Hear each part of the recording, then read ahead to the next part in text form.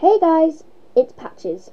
Uh, so yeah, we ran out of video ideas. So, Pibs just said, be yourself. So today I'm going to be myself. Now I'm going to talk to things that I like. So, I like fashion. I love dressing up in dresses and anything with fashion. I love it so much.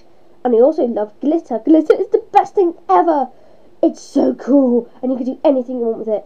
The lighting's really bad. All my eyes and stuff look evil. Can we just get better lighting? Okay, that, we'll we'll be back. We'll be back. We'll just have to fix the lighting. Okay, we're back.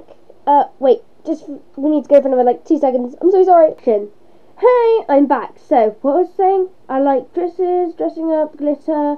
Oh yeah, I also really, really love the smell of freshly cut grass. If you don't, then good reasons.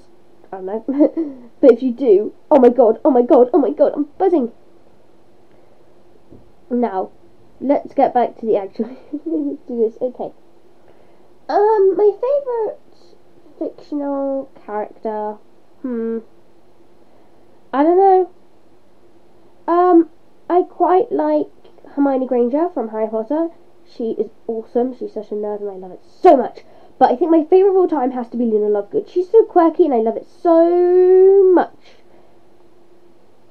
I think that's all. So thank you for watching, and I'm so sorry about no videos. We ran out of ideas. Yeah. Can we stop? My arm hurts. Oh, oh yeah, sorry. Bye!